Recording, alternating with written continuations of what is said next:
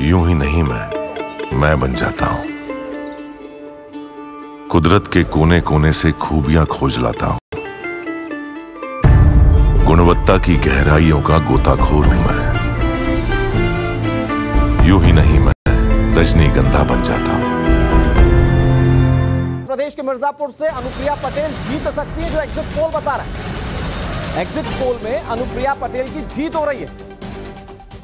Samajwadi party के उम्मीदवार रमेश चंद बिंद पीछे चल रहे हैं। अनुप्रिया पटेल, ये गठबंधन की पुरानी साथी हैं बीजेपी की केंद्रीय मंत्री रह चुकी हैं और इस बार इस बार ये चुनाव जीतती हुई दिख रही है। अब मैं आपको मिर्जापुर का पूरा गणित समझाने की कोशिश करता हूँ। देखिए, सबसे बड़ा चेहरा, अनुप्रिया पटेल अपना दल से हैं और अपना दल से इस बार चुनाव जीत सकती हैं।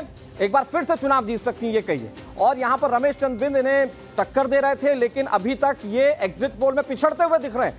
हालाँकि एग्जिट पोल कितना सटीक होगा, ये चार तारीख को पता चलेगा, लेकिन जो सबसे सटीक डेटा सामने आ रहा है, उसमें अनुप्रिया पटेल आगे। अब आपको जौनपुर की सीट का हाल बताते हैं। पूर्वांचल की सीट कृपा शंकर सिंह यहाँ पर चुनाव जीतते हुए दिख रहे हैं और बाबू सिंह कुशवाहा, जो कि समाजवादी पार्टी की ओर से चुनौती दे रहे थे एग्जिट पोल में यह हारते हुए दिख रहे हैं। अब ये जौनपुर की जो सीट है, ये पूर्वांचल के क्षेत्र में आती है और पूर्वांचल में पीएम नरेंद्र मोदी का वर्चस्व माना जाता है।